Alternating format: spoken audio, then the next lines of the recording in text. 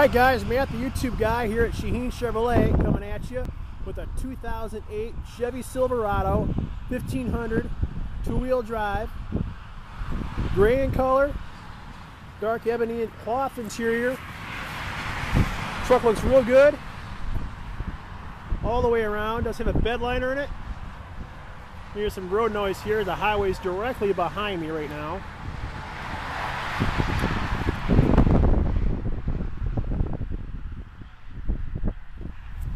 There's an LS. Bed liner in there for you.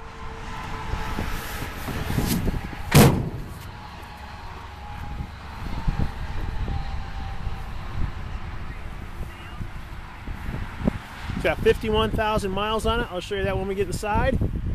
But I want to get this to you guys in a quick look at it so you know what you're looking at before you even get down here and take a look.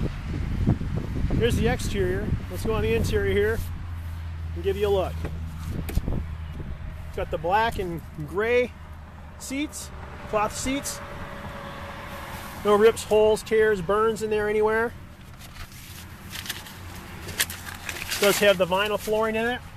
So you can clean that right out real easy. Manual windows, manual locks, automatic headlamps, your cruise control. Look at the odometer here, we'll start it up too. Turn the radio off. And you can see here, uh, no lights on except for my seatbelt light, because that's not on right now. 51,511 miles on it. AM FM CD with XM. And then the drop down section here for cup holders. It also folds up, give you an ad seat as well. So there you go. Got any questions, go ahead and give me a call and we'll talk to you later. Have a great day.